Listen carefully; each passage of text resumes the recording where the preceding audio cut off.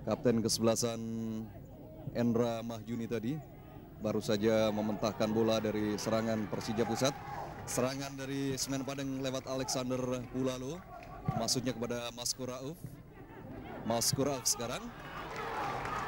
Abdul Yusra langsung ke depan tetapi menyentuh kaki dari Marcelo menimbulkan tendangan penjuru yang kedua ini adalah Jairo Matos pelatih dari Persija Pusat.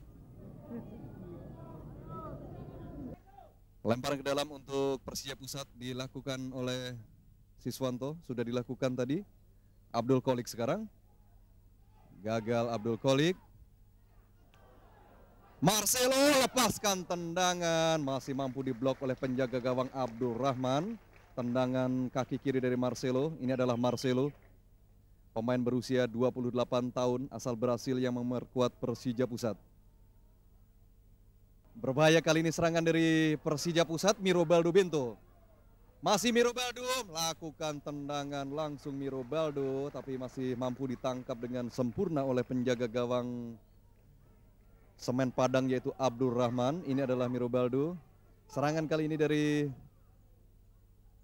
Semen Padang, Mas Kurauf. Masih Mas Kurauf.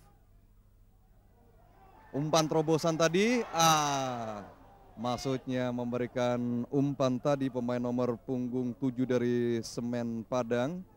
17 maksud kami adalah Zahlul Fadil yang kali ini tidak diturunkan oleh pelatih Jarumatus.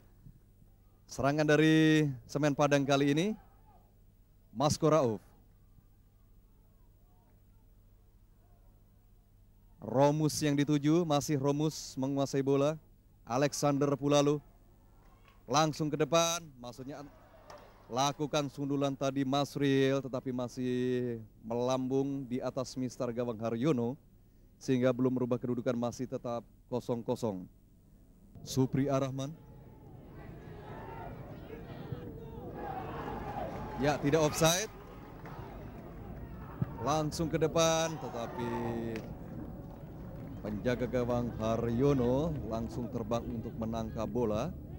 Sehingga gagal lagi serangan dari Spen Padang kali ini.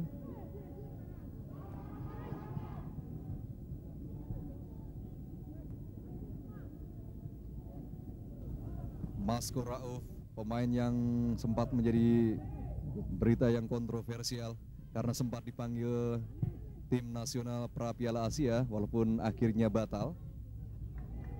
Serangan kali ini dari Semen Padang, Herman Pulalo. Ada Masro di sana tapi ah masih menyentuh kepala Z Ribu Abdul Kolik. Siswanto Patar Tambunan Marcelo Kembali kepada Patar. Langsung lepaskan tendangan. Patar Tambunan masih melambung di atas Mister Gawang Abdurrahman. Ini adalah Patar Tambunan. Pemain senior dari Persija Pusat berusia 32 tahun.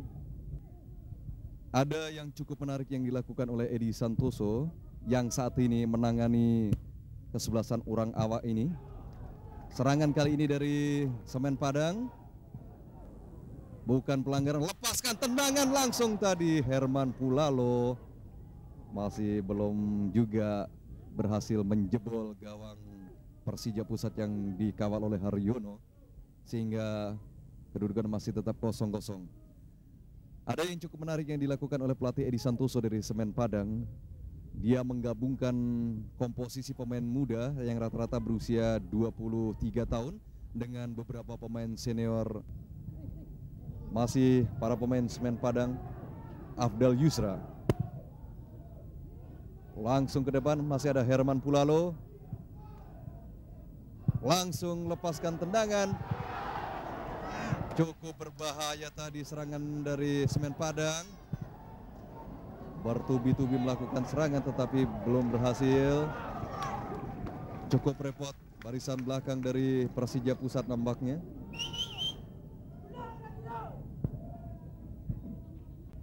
Kita saksikan serangan dari Semen Padang tadi. Masih Marcelo dibayang-bayangi oleh Supri Arrahman. Ya, saling berjatuhan kedua pemain. Serangan masih dari Persija Pusat sangat berbahaya. Offside penjaga garis mengangkat bendera. Pertanda posisi Abdul Kolik atau ya Abdul Kolik nampaknya yang sudah offside. Kita saksikan dalam tayangan lambat ya Miro Baldo nampaknya yang sudah berada dalam posisi offside.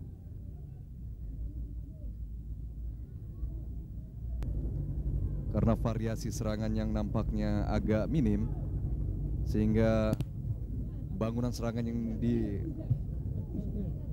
dibangun oleh kedua kesebelasan agak mudah dibaca oleh para pemain belakang lawan masing-masing. Serangan dari Persija Pusat Mirubaldo sekarang lepaskan tendangan langsung masih menyamping di sebelah kiri gawang Febriardi Bobiu. Siswanto melakukan duel dengan Supri Arahman. Febriardi kembali kepada Siswanto. Langsung ke depan masuknya kepada Miro Baldo Bento. Langsung lepaskan tendangan. Hampir saja menjebol gawang semen Padang yang dikawal oleh Abdurrahman. Ya, kita saksikan bagaimana Miro Baldo Bento melepaskan tendangan kaki kanan tadi masih mampu diblok oleh penjaga gawang Abdurrahman. Tendangan penjuru bagi Persija dilakukan oleh Iskandar. Sudah dilakukan.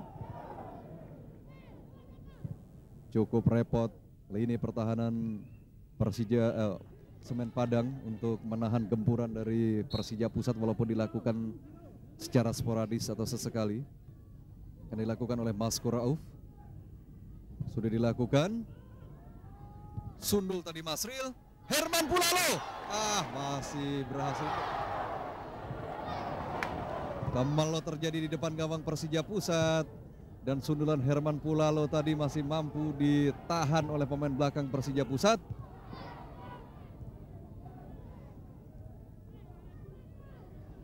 Serangan bertubi-tubi kali ini datang dari Semen Padang tetapi sudah offside posisi Ya kita saksikan dalam tayangan lambat bagaimana kemelut tadi terjadi di depan gawang Persija. Herman Pulalo berhasil menanduk bola dan sempat dihentikan oleh nomor punggung 22 Edi Hendra Warman dari Persija Pusat yang merupakan stopper dari kesebelasan ibu kota. Alexander Pulalo nomor punggung 15 sudah dilakukan. Ada Kusdianto. Ah Ya pertandingan sudah berakhir. Wasit Aan Setiawan yang sempat terjatuh tadi karena terbentur oleh bola tendangan penjuru Alex Pula lalu meniupui tanda berakhirnya pertandingan babak kedua. Semen Padang kosong, Persija Pusat kosong.